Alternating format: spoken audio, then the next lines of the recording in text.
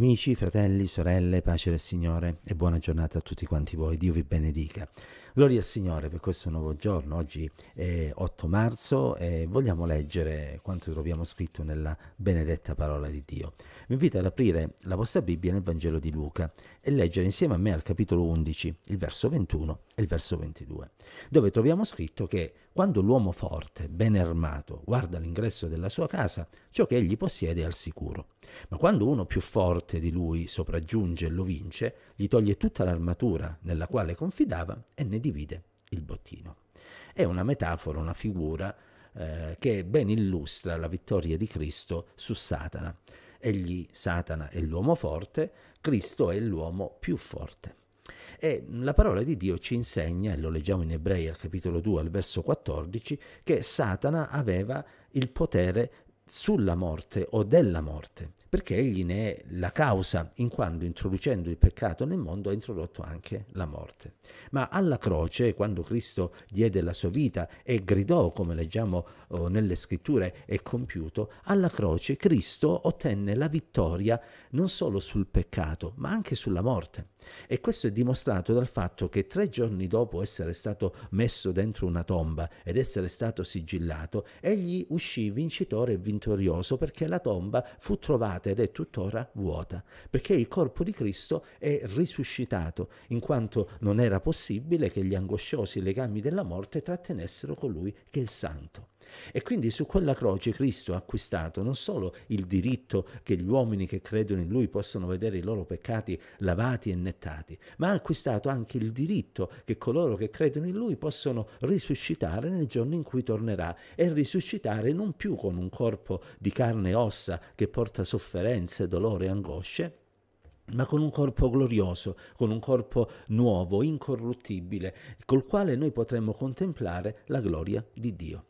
E quindi alla morte della croce, che apparentemente sembra essere la sconfitta del bene rispetto al male, la vittoria del peccato rispetto alla santità, rappresenta esattamente il contrario. Essa è la dimostrazione più evidente di come il potere di Satana sia qualcosa di effimero, qualcosa che è stato già sconfitto, perché, come dice la scrittura in un altro passo, il Signore ha fatto pubblico spettacolo di tutte le potenze delle tenebre, trionfando su di esse. Tant'è che la morte, dice Paolo al capitolo 15, al verso 54 della prima Corinzi, è stata sommersa nella vittoria. E grazie a Dio per questa speranza, perché sappiamo che è vero che tutti dobbiamo passare per la morte, ma sappiamo anche che se abbiamo fede nel Signore, noi un giorno risusciteremo. E mi permetto di correggermi da solo, non è vero che tutti passeremo per la morte, perché la scrittura insegna che coloro che saranno viventi al momento in cui Cristo tornerà saranno trasformati in un batter d'occhio e mh, subito dopo la resurrezione dei morti incontreranno il Signore nell'aria. Ancora più gloriosa sarà questa esperienza e che il Signore ci aiuti semplicemente a confidare nella sua parola e a credere in quello che è scritto nella sua parola, affinché possiamo, uno, sperimentare la salvezza per mezzo della fede in Cristo Gesù che ci lava e purifica dai nostri peccati e due, la risurrezione che ci permetterà di poter un giorno regnare col Signore, prima per mille anni, come insegnano le scritture, leggasi Apocalisse capitolo 20, e poi vivere con Lui per l'eternità nei nuovi cieli e nella nuova terra che il Signore prepara e in particolare nella Gerusalemme celeste che Giovanni dice, sempre nell'Apocalisse, di vedere scendere dal cielo sulla nuova terra.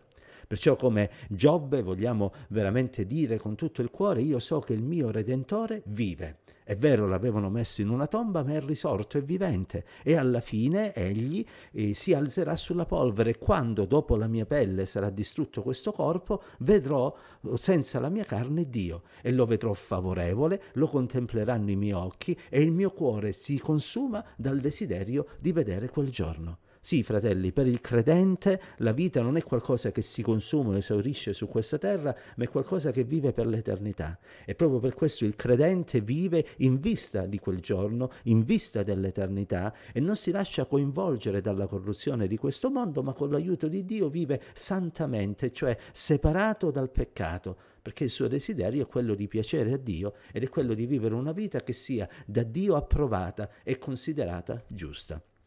Andiamo avanti quindi con l'aiuto del Signore, non guardando agli insegnamenti di questo mondo, ma guardando all'insegnamento che Cristo ci ha dato attraverso le sacre scritture.